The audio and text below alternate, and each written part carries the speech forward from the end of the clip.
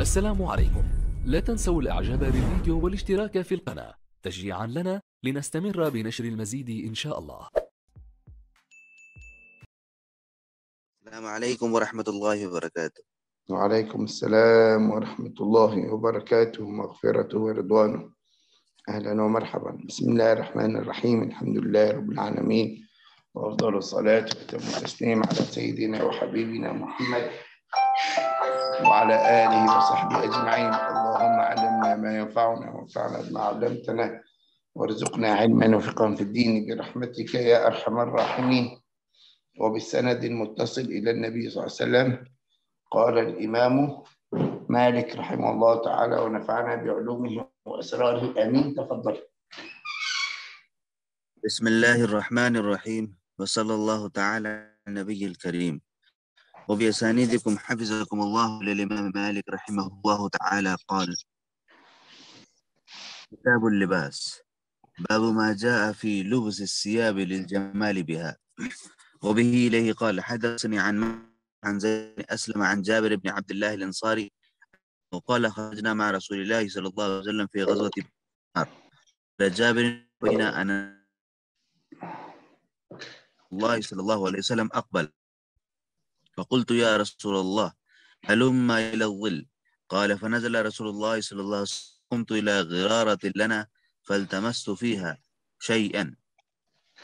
فوجدت فيها عرو قثاء فكسرته ثم قربته إلى رسول الله صلى الله عليه وسلم فقال من أين لكم هذا؟ قال فقلت خرجنا به يا رسول الله من المدينة. قال جابر وعندنا صاحب لنا نجهزه يذهب يرعى زهرنا. قال فجهزته ثم أدبر يذهب في الظهر وعليه بردان له قد خلقا قال فنظر رسول الله صلى الله عليه وسلم إليه فقال أما له ثوبان غير هذين؟ فقلت بلى يا رسول الله له ثوبان في العيب في العيبة كسوته إياها. قال فادعه فمره فليلبسهما. قال فدعوته فلبسهما ثم ولى يذهب قال فقال رسول الله صلى الله عليه وسلم ما له ضرب الله عنقه أليس هذا خيرا له؟ قال فسمع الرجل فقال يا رسول الله في سبيل الله. فقال رسول الله صلى الله عليه وسلم في سبيل الله؟ قال فقتل الرجل في سبيل الله. وبه قال حدثني عن مالك إنه بلغه إن عمر بن الخطاب قال إني لو أحب أن أنظر إلى القاري أبيض الصياب. وبه قال حدثني عن مالك عن أيوب بن أبي تميمة عن ابن سيرين قال قال عمر الخطاب إذا أوسع الله عليكم فأوسعوا على أنفسكم جمع رجل على ثيابه. على ثيابه. جمع رجل عليه. جمع رجل عليه ثيابه. باب ما جاء في لبس الثياب الذهب وإليه قال نافع كان بالمشق بالزعام مالك أنا أكره أن يلبس الغلمان شيئا من شيئا من لأنه بلغني أن رسول الله صلى الله عليه وسلم نهى عن تقطم الذهب فأنا أكره للرجال الكبير منهم والصغير. قال يحيى وسمعت مالكا يقول في الملاحف المعرضة في البيوت للرجال وفي الأفنية قال لا أعلم من ذلك شيئا حراما وغير ذلك أو ما جاء في لبس الخز. وبإليه قال حدثني مالك أن هشام بن عروة عن أبينا عائشة زوج النبي صلى الله عليه وسلم أنها كست عبد الله بن الزبير بمترة خز كانت عائشة باب ما يكره للنساء لبسه من الثياب. وبإليه قال حدثني عن مالك أن القمة بن أبي القمة عن أمه أنها قالت دخلت حفصة بنت عبد الرحمن على عائشة زوج النبي صلى الله عليه وسلم وعلى حفصة خمار رقيق فشقته عائشة وكستها خمارا كثيفا. وبه قال حدثني عن مالك بن مسلم بن أبي مريم عن أبي صالح بن أبي هريرة انه قال نساء كاسيات عاريات مائلات مميلات لا يدخلن الجنة ولا يجدن ريحها وريحها يوجد من مسيرة 500 500 عام. قال عن مالك عن عن ابن شهاب أن رسول الله صلى الله عليه وسلم قام من الليل فنظر في أفق السماء فقال ماذا فتح الليلة من الخزائن وماذا وقع من الفتن كم من كاسد في الدنيا عارية يوم أي باب ما جاء صوبه. وبه قال حدثني عن مالك بن عبد الله بن دينار عبد الله بن عمر أن رسول الله صلى الله عليه وسلم قال ينظر الله إليه يوم القيامة. وبإليه قال حدثني لا ينظر القيامة إلى من يداره بطرا. وبإليه قال حدثني عن مالك عبد الله وعبد الله بن دينار وزيد بن كلهم يخبره عن رسول الله لا ينظر الله إلى من يجر صوبه خيلاء. وبإليه قال حدثني عن مالك عن الرحمن عن نبيه أنه قال سألت أبا سعيد الخدري عن الإزار أخبرك بعلم سمعت رسول الله صلى الله عليه وسلم يقول إزر من إلى أنصاف ساقيه لا جناح عليه فيما بينه وبين الكعبين. ما أسفل من ذلك ففي النار ما أسفل من ذلك ففي النار. لا ينظر الله يوم القيامة إلى من جر إزاره بطرا باب ما جاء في إسبال المرأة ثوبها. وبإليه قال حدثني عن مالك بن نافع عن أبي نافع مولى بن عمر عن سفية أخبرته ثم سلمت النبي صلى الله عليه وسلم أنها قد تعرف. قالت أم سلمة إذا إذا ينكشف عنها قال فذراعا لا تزيد عليه. باب ما جاء في الانتعال. وبإليه قال حدثني عن مالك النبي الزناد نارج عن أبي هريرة أن الرسول صلى الله عليه وسلم قال لا يمشين أحدكم في نعل واحدة لينعلهما جميعا أو ليحفهما أو ليحفهما جميعا. وبإليه قال حدثني عن مالك عن أبي الزناد نارج عن أبي هريرة أن رسول الله صلى الله عليه وسلم قال إذا انتعل أحدكم فلي أحدكم فليبدأ باليمين. وإذا نزع فليبدأ بالشمال. ولتكن اليمنى أولهما تنعل وآخرهما تنزع. وبإليه قال حدث عن مالك عن عن أبيه عن كعب بن الأحبار. أن رجلا نزع عليه فقال لما خلقتنا عليك؟ لعلك تأولت هذه الآية. فخلعنا عليك إنك قال ثم قال كعب لرجل أتدري ما كانت على موسى؟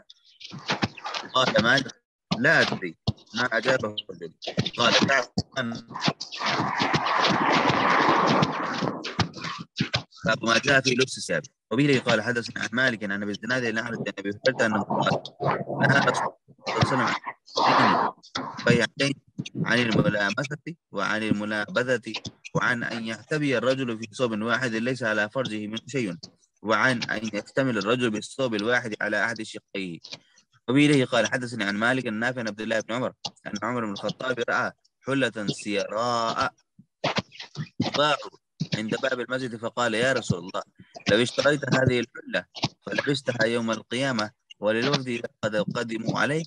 فقال رسول الله صلى الله عليه وسلم إنما يلبس هذه من لا خلاق له في الآخرة. ثم جاء رسول الله صلى الله عليه وسلم منها حلل فاتى عمر بن الخطاب منها حلة. فقال عمر يا رسول الله أكسوتنيها؟ فقد قلت في حلة عطارد. ما قلت؟ فقال رسول الله صلى الله عليه وسلم لم أكسكها لتلبسها. فكساها عمر أخا له مشركا بمكة. وبه قال حدثني عن مالك عن إسحاق بن عبد الله بن أبي طلحة أنه قال قال أنس بن مالك رأيت عمر بن الخطاب وهو يومئذ أمير المدينة وقد وقع بين كتفيه برقاع ثلاث لبد بعضها كتاب صفة النبي صلى الله عليه وسلم. باب ما جاء في صلى الله عليه وسلم.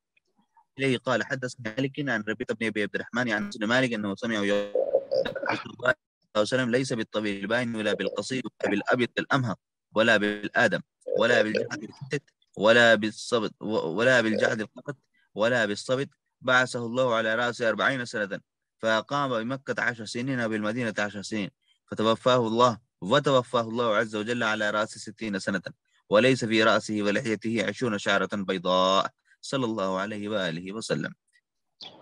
في صفة عيسى بن مريم عليه السلام والدجال. وبإليه قال حدثنا عن مالك النافع عن عبد الله. أراني الليلة عند الكعبة فرأيت رجلا آدم كأحسن ما أنت رائم من أدم من أدم الرجال. له لمة كأحسن ما أنت رائم من اللمم. قد رجلها فهي تقطر ماء متكئا على رجلين على عواتق رجلين. طوف بالكعبة فسألت من هذا؟ قيل هذا المسيح ابن مريم.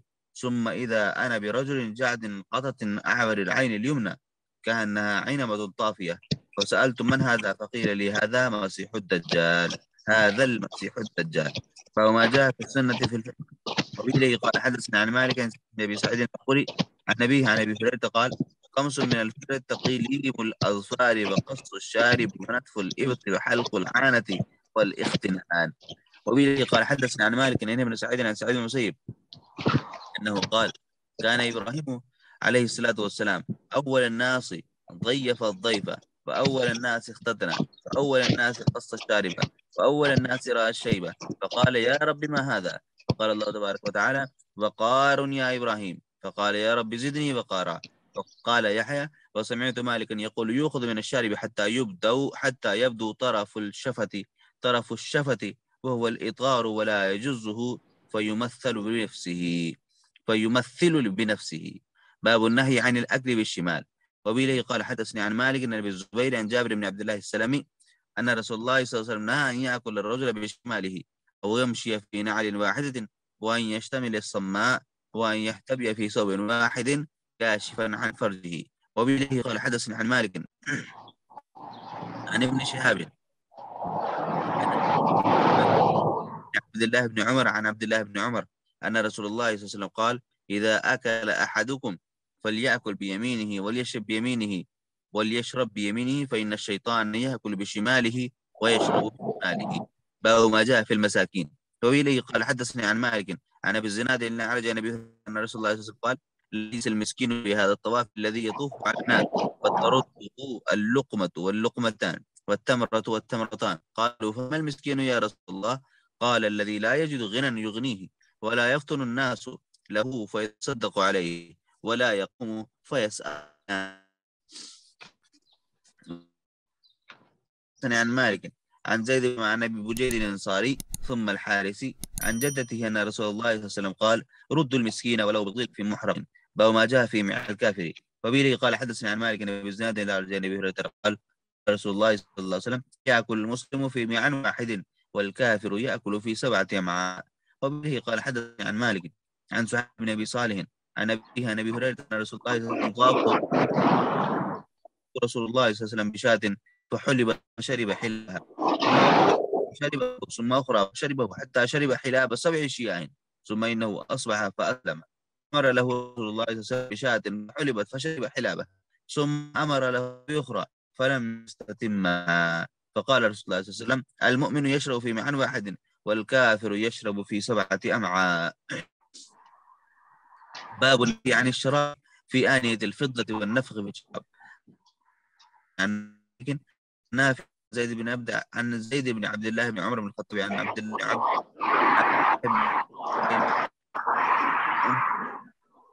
وسلم أن رسول الله صلى الله عليه وسلم قال الذي يشرب في آنية الفضة إنما يجرجر في بطنه نار جهنم. وبإليه حدثني عن لكن عن أيوب بن أبي حبيب عن أيوب بن حبيب مولى سعد بن أبي وقاص عن المثنى عن أبي. كنت عند مروان بن الحكم فدخل عليه أبو سعيد قال له مروان بن الحكم سمعت من رسول الله صلى الله عليه وسلم أنه نهى عن النفخ في الشراب؟ فقال له نعم. يا رسول الله. واحد فقال له رسول الله صلى الله عليه وسلم فأبني القدح عن فاك ثم تنفس. قال فإن القذاة فيه قال فأهرقها. فهو ما جاء في شرب رجل وهو قائم. وبإليه قال حدث عمر بن الخطاب وعلي بن أبي طالب وعثمان بن عفان كانوا يشربون قياما. وبإليه قال حدثنا عن مالك عن ابن شهاب أن عائشة أم المؤمنين وسعد بن أبي وقاص كانا لا يريان بشرب الإنسان وهو قائم بأسا. وبه قال حدثني مالك بن ابي جعفر القاري أنه قال رأيت عبد الله بن عمر يشرب قائما. وبه قال عن مالك أن عامر بن عبد الله بن الزبير النبيه أنه كان يشرب قائما. باب السنة في الشرب ومالك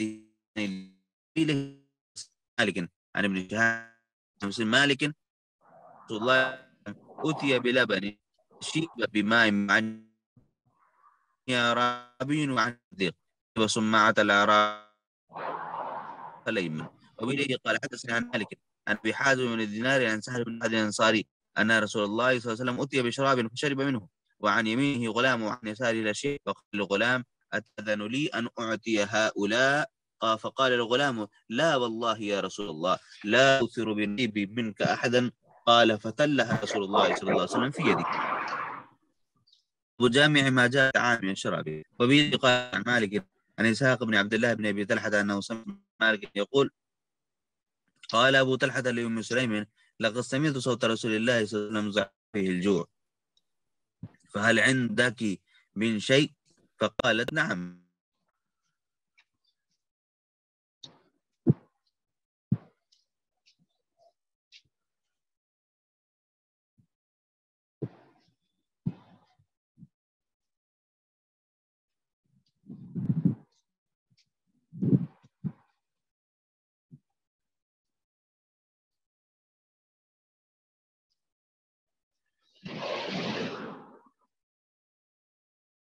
Hola.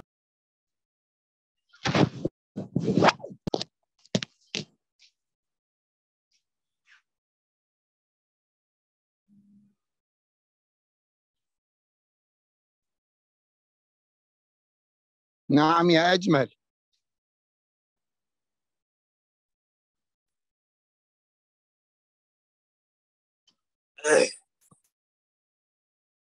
قطع الصوت يا أجمل نعم سيدي نعم. رجع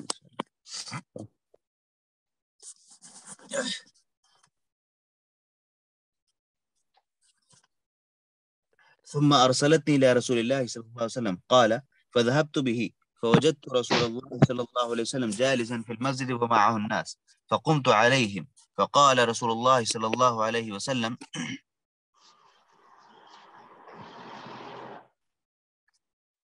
أرسلك أبو طلحة؟ قال فقلت نعم.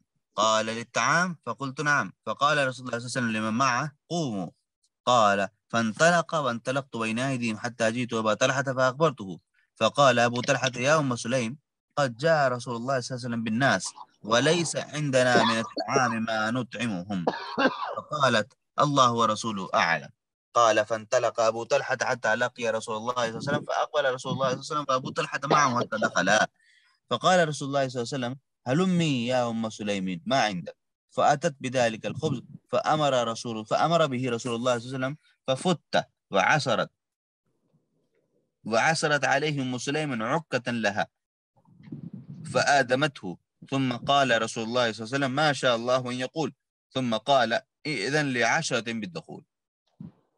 فأذن لهم فأكلوا حتى شبعوا ثم خرجوا. ثم قال إذن لعشرة. فأذن لهم فأكلوا حتى شبعوا ثم خرجوا. ثم قال أذن لعشرة. فأذن لهم فأكلوا حتى شبعوا ثم خرجوا. ثم قال إذن لعشرة. فأذن لهم فأكلوا حتى شبعوا ثم خرجوا. ثم قال إذن لعشرة. حتى أكل القوم كلهم وشبعوا والقوم سبعون رجلا أو ثمانون رجلا. وبه قال حدثني عن مالك عن أبي الزناد إلى عن أبي هريرة أن رسول الله صلى الله عليه وسلم. قال طعام الاثنين كافي الثلاثة وطعام الثلاثة كافي الأربعة. وبه قال حدثني عن مالك عن أبي الزبير المكي عن جابر بن عبد الله أن رسول الله صلى الله عليه وسلم قال أغلقوا الباب وأوقوا السقاء الإناء أو خففوا الإناء وأطفئوا المصباح فإن الشيطان لا يفتح غلقا ولا يحل وكاء ولا يكشف إناء وإن الفويسقة تضرم على الناس بيتهم. وبه قال حدثني عن مالك أن سعيد بن أبي سعيد المقبري عن أبي شريح المكعبي أن رسول الله صلى الله عليه وسلم قال من كان يؤمن بالله واليوم الآخر فليقل خيرا أو ليصمت ومن كان يؤمن بالله واليوم الآخر فليكن جاره ومن كان يؤمن بالله واليوم الآخر فليكرم ضيفه جائزته يوم وليلة وضيافته ثلاثة أيام فما كان بعد ذلك فهو صدقة ولا يحل له أن يثوي عنده حتى يحرجه. وبه قال حدثني عن مالك عن سمي مولى أبي بكر عن أبي صالح عن السمان عن أبي هريرة أن رسول الله صلى الله عليه وسلم قال بينما رجل يمشي بطريق إذا اشتد عليه العطش فوجد بيرا فنزل فيها فشرب وخرج فإذا كلب يلهث يأكل الثرى من العطش فقال رجل لقد بلغ هذا الكلب من العطش مثل الذي بلغ مني فنزل البئر فملأ خفه ثم أمسكه بفيه حتى رقي فسقى الكلب فشكر الله له فغفر له فقالوا يا رسول الله وإن لنا في البهائم لأجرا. فقال في كل ذي كبد رطبة أجر وبإليه قال حدثني عن مالك عن وهب بن كيسان عن جابر بن عبد الله أنه قال بعث رسول الله صلى الله عليه وسلم بعثا قبل قبل الساحل فأمر عليهم أبا عبيدة بن الجراح وهو من ثلاثمائة قال وأنا فيهم. قال فخرجنا حتى إذا كنا ببعض الطريق فني الزاد. فأمر أبو عبيدة بأزباد ذلك الجيش. فجمع ذلك كله فكان مزدوا فكان مزودا تمر. قال فكان يقوتناه كل كل يوم قليلا قليلا حتى فني. ولم تصبنا إلا تمرة فقلت وما تغني تمرة؟ فقال لقد وجدنا فقدها فقدها حيث فنيت. قال ثم انتهينا إلى البحر فإذا حوت مثل الضرب مثل الضرب. فأكل منه ذلك الجيش ثمانية عشرة ليلة ثم أمر أبو عبيدة بزلعين من ضلاعه فنصب. ثم أمر براحلة فرحلت ثم مرت تحت تحتهما تحتهما ولم تصبهما. قال مالك الضرب الجبيل. وبه لي قال حدثني عن مالك عن زيد بن أسلم عن عمرو بن سعد بن معاذ عن جدته أن رسول الله صلى الله عليه وسلم قال يا نساء المؤمنات لا تحقرن إحداكن لجارتها ولو كراع شاة محرقات. وبه قال حدثني عن مالك بن عبد الله بن أبي بكر أنه قال قال رسول الله صلى الله عليه وسلم قاتل الله اليهود نهوا عن أكل الشحم فباعوه فأكلوا ثمنه. وبه قال حدثني عن مالك أنه بلغه أن عيسى بن مريم كان يقول يا بني إسرائيل عليكم بالماء القراح والبقل والبري وخبز الشعير وإياكم وخبز البر فإنكم لن تقوموا بشكره. وبإليه قال حدثني عن مالك أنه بلغه أن رسول الله صلى الله عليه وسلم دخل المسجد فوجد فيه أبا بكر الصديق وعمر الخطاب فسألهما فقال أخرجنا الجوع. فقال رسول الله صلى الله عليه وسلم وأنا أخرجني الجوع. فذهبوا إلى أبي الهيثم ابن التيهان الأنصاري فأمر لهم بشعير عنده يعمل. فقام يذبح لهم شاة. فقال رسول الله صلى الله عليه وسلم نكب عن ذات الدر.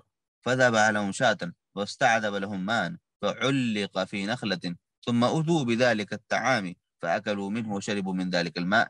فقال رسول الله صلى الله عليه وسلم لتسألن عن نعيم هذا اليوم. وبإليه قال حدثنا عن مالك عن يحيى بن سعيد أن عمر بن الخطاب كان يأكل خبزا بسمن فدعا رجلا من أهل البادية فجعل يأكل ويتبع باللقمة وزر وزر الصحفة فقال عمر كأنك مقفر فقال والله ما أكلت سمنا ولا لقت أكلا به منذ كذا وكذا. فقال عمر لا آكل السمن حتى يحيى الناس من أول ما يحيون.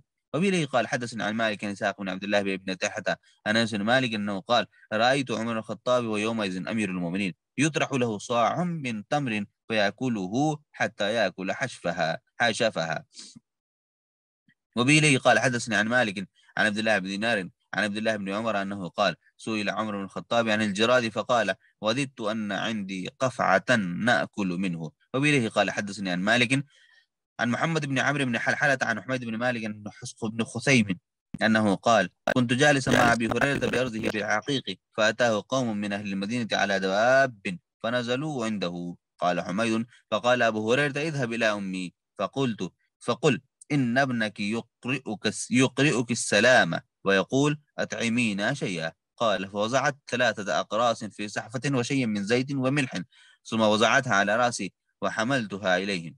فلما وضعتها بين أيديهم كبر أبو هريرة وقال الحمد لله الذي أشبعنا من الخبز بعد أن لم يكن طعامنا إلا الأسودين الماء والتمر. فلم يصب القوم من الطعام شيئا.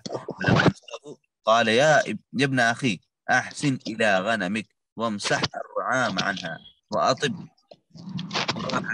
وصل في ناحيتها فإنها من دواب الجنة. والذي نفسي بيده ليوشك أن يأتي على الناس زمان تكون السلة من الغنم أحب إلى صاحبها من دار مروان.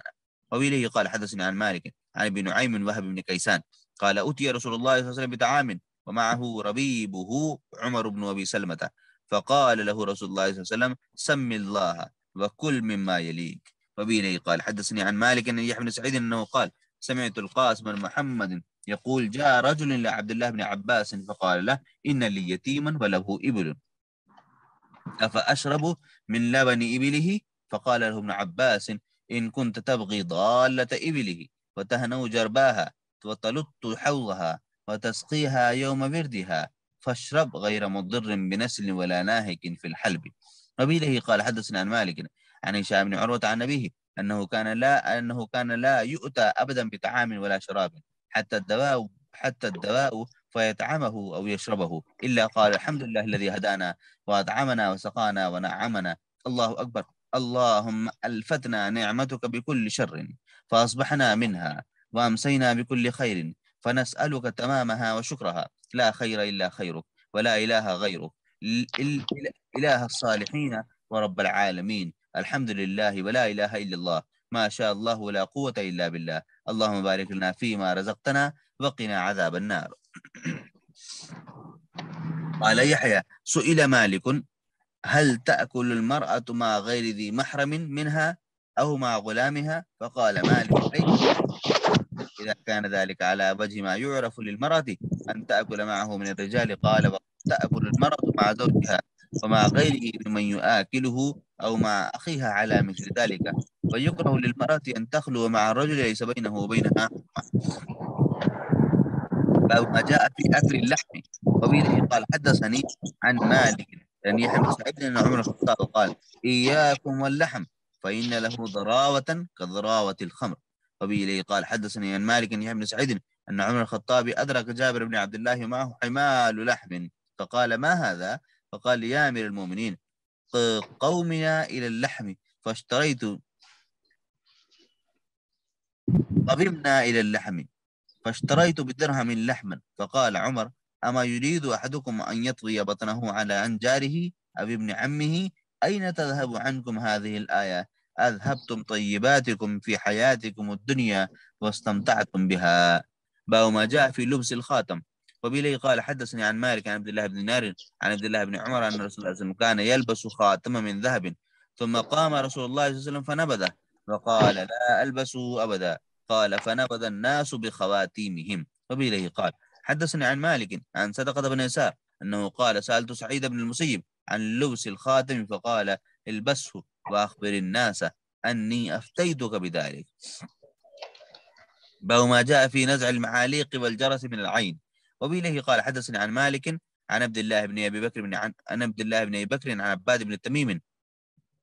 أن أبا بشير أن أبا بشير الأنصاري أخبره أنه كان مع رسول الله صلى الله عليه وسلم في بعض أسفاره قال فأرسل رسول الله صلى الله عليه وسلم رسولا قال عبد الله بن أبي بكر حسبت أنه قال والناس في مقيلهم لا تبقين في رقبة بعير قلادة من وتر أو قلادة إلا قطعت قال يحيى سمعت مالكا يقول أرى ذلك من العين.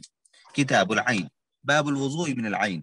وبإليه قال حدثني يحيى عن مالك عن محمد بن أبي أمامة بن سهل بن حنيف أنه سمع أباه يقول اغتسل أبي سهل بن حنيف بالخرار فنزع جبة كانت عليه عامر بن ربيعة ينظر. قال كان سهل رجلا أبيض حسن الجلد. قال فقال له عامر بن ربيعة ما رأيتك اليوم ولا جلد عذراء. قال فوعيك سهل مكانه واشتد عبده فأتي رسول الله صلى الله عليه وسلم فأخبر أن سهلا وعيك غير راحم معك. يا رسول الله. فأتاه رسول الله صلى الله عليه وسلم فأخبره سهل بالذي من أمر عامر. فقال رسول الله صلى الله عليه وسلم على ما يقتل أحدكم أخاه. ألا ألا بركت؟ إن العين حق.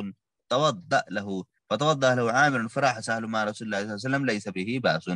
وبإليه قال حدثني مالك. عن ابن شهاب عن أبي أمامة بن سهل بن حنيف أنه قال رأى عامر بن ربيعة سهل بن حنيف يغتسل فقال ما رأيتك اليوم ولا جلد مخبأ مخبأة. فلبد سهل.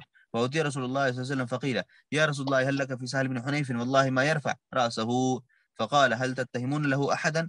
قالوا نتهم عامر بن ربيعة. قال فدعا رسول الله صلى الله عليه وسلم عامر فتقيض عليه وقال على ما يقتل أحدكم وأخاه؟ ألا بردت يغتسل له. فغسل عامر وجهه ويديه ومرفقيه وركبتيه وأطراف رجليه وداخل قزاره في قدح ثم صب عليه فراح سهل مع الناس ليس به بأس. باب الرقية من العين. وبه قال حدثني عن مالك بن محمد بن قيس المكي أنه قال دخل على رسول الله صلى الله عليه وسلم بابن جعفر بن أبي طالب فقال لحازنتهما ما لي أراهما زارعين؟ فقالت حازنة حازنتهما يا رسول الله إنك تسرع إليهما العين ولم يمنعنا أن نسترقي لهما.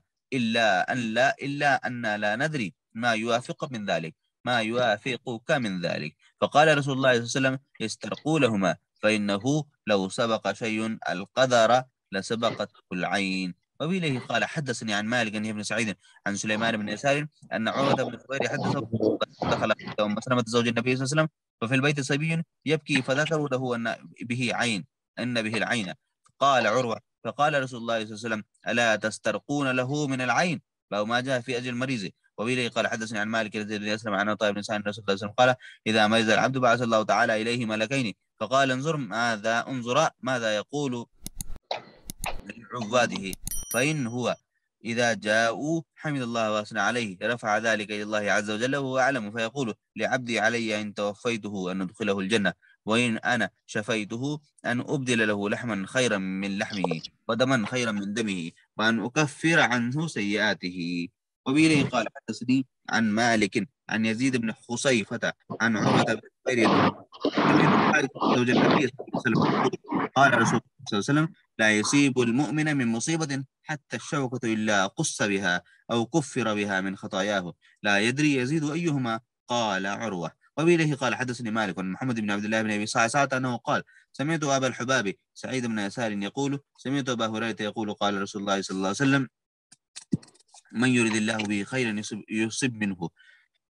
وإليه قال حدثني عن مالك عن يحيى بن سعيد أن رجلا جاءه الموت في زمان رسول الله صلى الله عليه وسلم فقال رجل هنيا له مات ولم يبتل بمرض. فقال رسول الله صلى الله عليه وسلم ويحك وما يدريك. لو أن الله ابتلاه بمرض يكفر به عنه من سيئاته. باب التعوذ والرقية من المرض. وبإليه قال حدثني عن مالك عن يزيد بن خصيفة أن عمرو بن عبد الله بن كعب السلمي أخبره أن نافع بن جبير أخبره عن عثمان بن أبي العاص أنه أتى رسول الله صلى الله عليه وسلم قال عثمان وبي وجع قد كاد يهلكني. قال فقال رسول الله صلى الله عليه وسلم امسح بيمينك. سبع مرات قل أعوذ بعزة الله وقدرته من شر ما أجد. قال فقلت ذلك فأذهب الله ما كان بي فلم أزل آمر بها أهلي وغيرهم. وبه إليه قال حدثني عن مالك عن ابن شهاب عن عروة بن الزبير عن عائشة أن رسول الله صلى الله عليه وسلم كان إذا اشتكى يقرأ على نفسه بالمعوذات بالمعوذات وينفث قالت فلما اشتد وجعه كنت أنا أقرأ عليه وأمسه عليه رجاء بركتها. وبه قال حدثني عن مالك عن يحيى بن سعيد عن عمرة بنت عبد الرحمن أن أبا بكر الصديق دخل على عائشة وهي تشتكي ويهودية ترقيها. فقال أبو بكر ارقيها بكتاب الله. باب تعالج تعالج المريض. وبإليه قال حدثنا عن مالك عن زيد بن أسلم أن رجلا في زمان رسول الله صلى الله عليه وسلم أصابه جرح فاحتقن الجرح الدم وأن الرجل دعا رجلين من بني أنمار فنظر إليه. فزعما أن رسول الله صلى الله عليه وسلم قال لهما أيكما أطب؟ فقالا أو في الطب خير يا رسول الله. فزعم زيد رسول الله صلى الله عليه وسلم قال أنزل الدواء الذي أنزل الأدواء. وبه قال حدثني عن مالك بن سعيد. قال بلغني أن سعد بن زرارة اكتوى في زمان رسول الله من الضبحة فمات. وبه قال حدثني عن مالك النافع عن عبد الله بن عمر اكتوى من اللقوة ورقي من العقرب. باب الغسل بالماء من الحمى. وبه قال حدثني عن مالك عن هشام بن عروة عن فاطمة بنت المنذر أن أسماء بنت بكر كانت إذا أتيت بالمرأة وقد حمت تدعو لها. أخذت الماء فصبته بينها وبين جيبها. وقالت إن رسول الله صلى الله عليه وسلم كان يأمرنا أن نبردها بالماء. وبه قال حدثني عن مالك عن هشام بن عروة عن أبيه أن رسول الله صلى الله عليه وسلم قال إن الحمى من فيه جهنم فوردوها بالماء. وبه قال حدثني عن ما حدثني مالك النافع عن ابن عمر أن رسول الله صلى الله عليه وسلم قال الحمى من فيه جهنم فأطفئوها بالماء. باب عيادة المريض والطيرة. وبه قال حدثني عن مالك أنه بلغه عن جابر بن عبد الله أن رسول الله صلى الله عليه وسلم قال إذا عاد الرجل المريض خاض الرحمة حتى إذا قعد عنده قرت فيه أو نحو هذا. وبه قال حدثني عن مالك أنه بلغه عن بكير بن عبد الله بن الأشج عن ابن عطية أن رسول الله صلى الله عليه وسلم قال لا عدوى ولا هام ولا صفر ولا يحل الممرز على المصح وليحلل المصح حيث شاء. فقالوا يا رسول الله وما ذاك؟ فقال رسول الله صلى الله عليه وسلم إنه أذى. كتاب الشعر.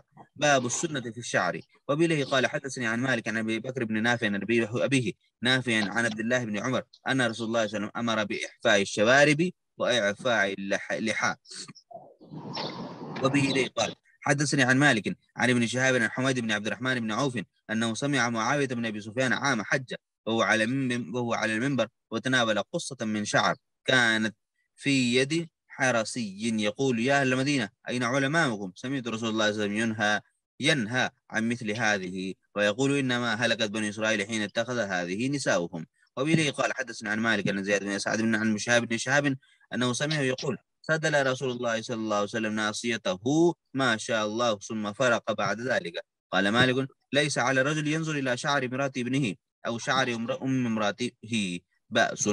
وبه قال حدثني عن مالك عن نافع عن عبد الله بن عمر أنه كان يكره الإخصاء ويقول فيه تمام الخلق. وبه قال حدثني عن مالك عن مالك عن سفان بن سليم أنه بلغه أن النبي صلى الله عليه وسلم قال أنا وكافر اليتيم له أو لغيره في الجنة كهاتين إذا اتقى وأشار بإصبعيه بالوسطى والتي تلي بها باب إصلاح الشعر. وبه قال حدثني عن مالك عن يحيى سعيد أن أبا قتادة الأنصاري قال جمة أفأرجلها؟ فقال رسول الله صلى الله عليه وسلم نعم وأكرمها فكان أبو قتادة ربما دهنها في اليوم مرتين لما قال له رسول الله صلى الله عليه وسلم نعم وأكرمها وبه قال حدثني عن مالك عن زيد بن أسلم ان عطاء بن يسار أخبره قال كان رسول الله صلى الله عليه وسلم في المسجد فدخل رجل سائر الرأس واللحية فأشار إليه رسول الله صلى الله عليه وسلم بيده أن يخرج كأنه يعني إصلاح كأنه يعني إصلاح شعر رأسه ولحيته.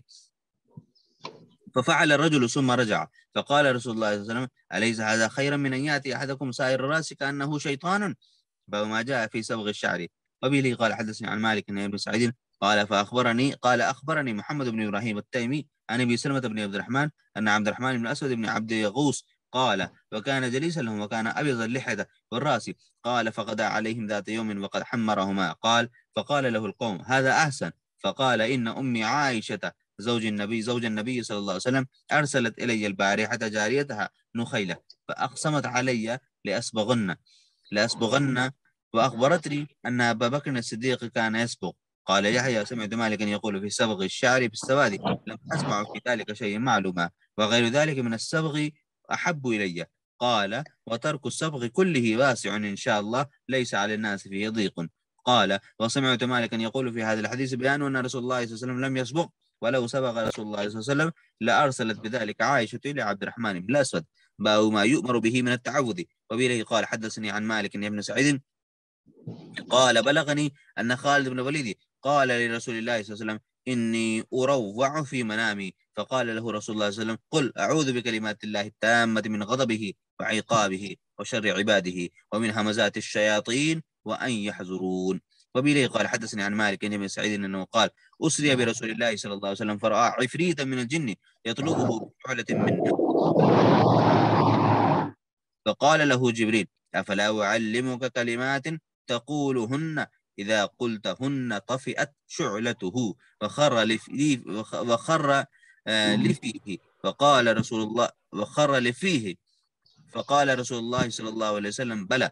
وقال جبريل فقل أعوذ بوجه الله الكريم وبكلمات الله التامات اللاتي لا يجاوزهن بر ولا فاجر من شر ما ينزل من السماء وشر ما يعرج فيها وشر ما ذرأ في الأرض وشر ما يخرج منها. ومن فتن الليل والنهار ومن طوارق الليل والنهار إلى طارقا يطرق بخير يا رحمن. بخير يا رحمن. وبه قال حدثني مالك عن سهيل بن أبي صالح عن أبيه أبي هريرة أن رجلا من أسلم. قال ما حبت هذه الليلة قال له رسول الله صلى الله عليه وسلم من أي شيء؟ فقال لدغتني يا قرب فقال رسول الله صلى الله عليه وسلم أما إنك لو قلت حين أمسيت أعوذ بكلمات الله التامات من شر ما خلق لم تضرك وبه قال حدثني عن مالك عن سمي مولى بكر عن القعقاع بن حكيم أن كعب الأحبار قال لو لولا كلمات نقولهن لجعلتني يهود حمارا. فقيل له ما هن؟ فقال أعوذ بوجه الله العظيم الذي ليس شيء أعظم منه. وبكلمات الله التامات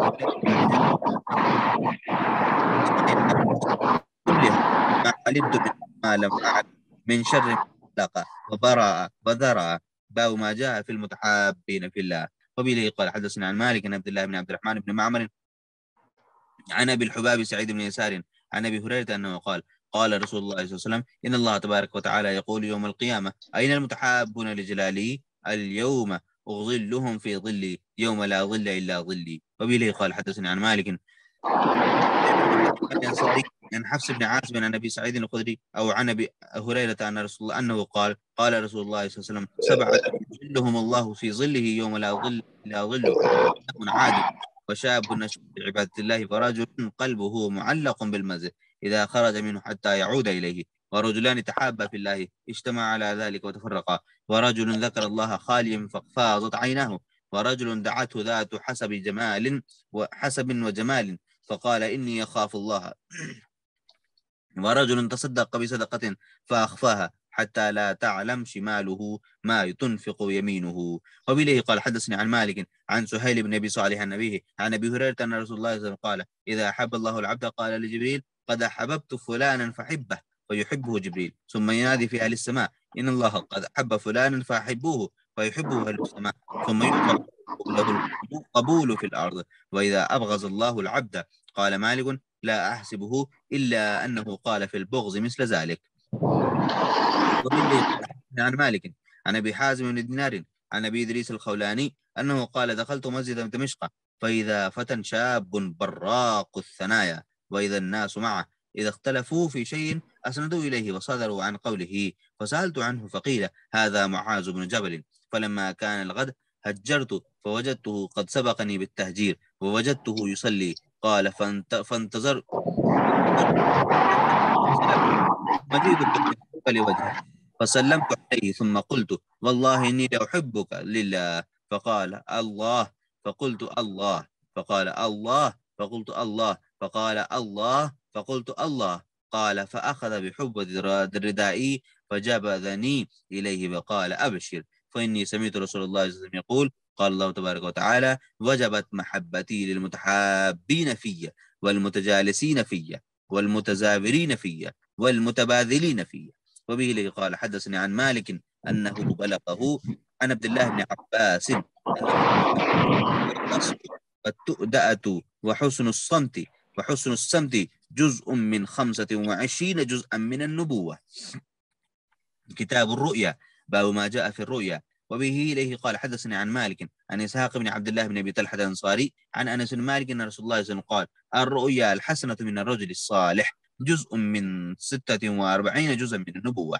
وإليه قال حدثني عن مالك عن أبي الزناد لعرج عن أبي عن رسول الله صلى الله عليه وسلم بمثل ذلك. وبه قال حدثني عن مالك عن إسحاق بن عبد الله بن أبي طلحة عن زفر بن سعة عن أبيه عن أبي هريرة أن الرسول صلى الله عليه وسلم قال إذا انصرف من صلاة الغداة يقول هل رأى أحد منكم الليلة رؤيا؟ ويقول ليس يبقى بعدي من النبوة إلا الرؤيا الصالحة. وبه قال حدثني عن مالك عن زيد بن أسلم عن طائب عن طائب بن يسار أن رسول الله صلى الله عليه وسلم قال لن يبقى بعدي من النبوة إلا المبشرات.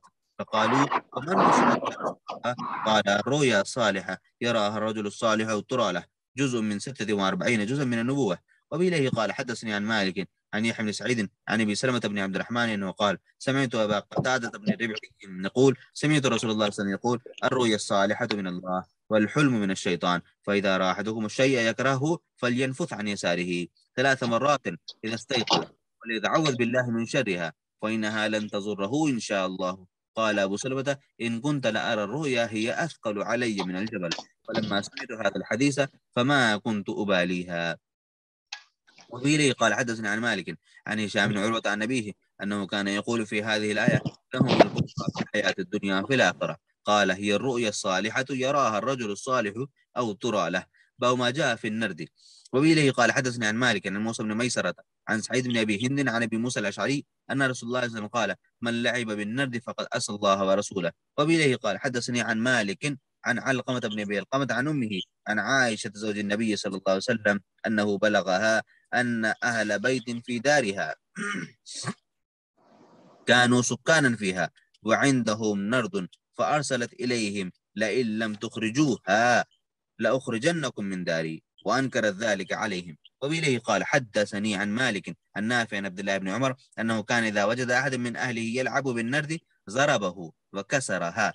قال يحيى وسمعت مالكا يقول لا خير في الشطرنج فكرهها. وسمعته يكره اللعب اللعب بها وبغيرها من الباطل ويتلو هذه الآية فماذا بعد الحق إلا الضلال؟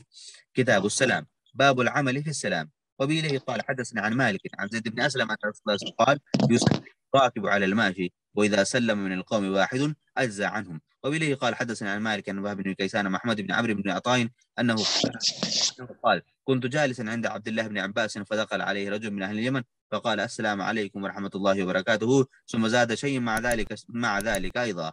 قال ابن عباس وهو يومئذ قد ذهب بصره. من هذا؟ قالوا هذا اليماني الذي يغشاك. فعرفوه إياه.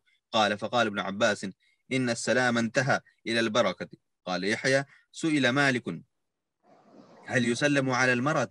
فقال أما المتجالة فلا أكره ذلك وأما الشابة فلا أحب ذلك. باب ما جاء في السلام على اليهودي والنصراني. قبيله قال حدثني عن مالك عن عبد الله بن دينار عن عبد الله بن عمر أنه قال قال رسول الله صلى الله عليه وسلم إن اليهود إذا سلم عليكم أحدهم فإنما يقول السلام عليكم فقل عليك. قال يحيى وسئل مالك عمن سلم على اليهودي بالنصراني قال قال هل يستقيله ذلك؟ فقال لا. باب جامع السلام.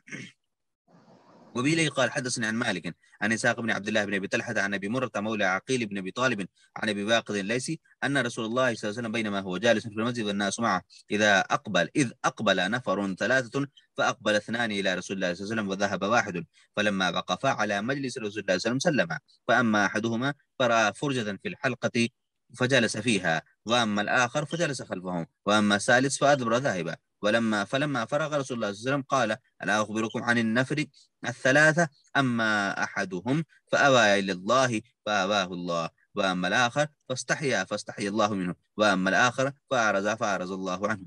وبإليه قال حدثني عن مالك عن إسحاق بن عبد الله بن أبي طلحة عن سمع عمر بن الخطاب وسلم عليه فرد رجل وسلم عليه رجل فرد عليه السلام ثم سأل عمر الرجل كيف أنت؟ فقال أحمد إليك الله. فقال عمر ذلك الذي أردت منك. وبإليه قال حدثني عن مالك عن إسحاق بن عبد الله بن أبي طلحة أن الطفيل بن أبي أن الطفيل بن أبي بن كعب أخبره أنه كان يأتي عبد الله بن عمر ويغدو معه إلى السوق. فقال فإذا غدونا إلى السوق لم يمر عبد الله بن عمر على سقاط ولا صاحب بيت ولا مسكين ولا أحد إلا سلم عليه. قال الطفيل فجئت عبد الله بن عمر يوما فاستع فاست تتبعني إلى السوق. فقلت له وما تصنع في السوق وأنت لا تقف على البيت ولا تسأل عن السلعة ولا تصوم بها ولا تجلس في مجالس السوق قال وأقول اجلس بنا هنا ها هنا نتحدث. قال فقال لي عبد الله بن عمر يا أبا بطن وكان الطفيل ذا بطن إنا إنما نغدو من أجل السلام نسلم على من لقينا. وبه قال حدثني عن مالك يعني ابن سعيد أن رجلا سلم على عبد الله سلم على عبد الله بن عمر فقال السلام عليك ورحمة الله وبركاته والغاديات والرائحات. فقال له عبد الله بن عمر وعليك ألفا. ثم كأنه كره ذلك. وبه قال حدثني عن مالك أنه بلغه إذا دخل البيت غير المسكون. يقال السلام علينا وعلى عباد الله الصالحين. وصلى الله على نبينا محمد وعلى آله وصحبه أجمعين. نتوقف هنا سيدي. طيب وصلى الله على سيدنا محمد وعلى آله وصحبه وسلم. ربنا اغفر لنا ما قدمنا وما أخرنا وما أعلنا وما أسررنا وما أنت أعلم به منا. أنت المقدم وأنت المؤخر. لا إله إلا أنت. سبحانك إنا كنا من الظالمين. اللهم صل على سيدنا محمد بعدد حسنة سيدنا محمد. وانشر أنوارها وأفضالها وأسرارها وبركتها ومعانيها على الحاضرين في هذا المجلس المبارك وأصولهم وفروعهم. وجيرانهم وما تحويه شفقة قلوبهم. اللهم إنك عفو كريم تحب العفو فاعف عنا آتنا في الدنيا حسنة وفي الآخرة حسنة وقنا عذاب النار. والحمد لله رب العالمين وأجزتكم وبأمان الله. السلام عليكم ورحمة الله وبركاته. وعليكم السلام ورحمة الله وبركاته.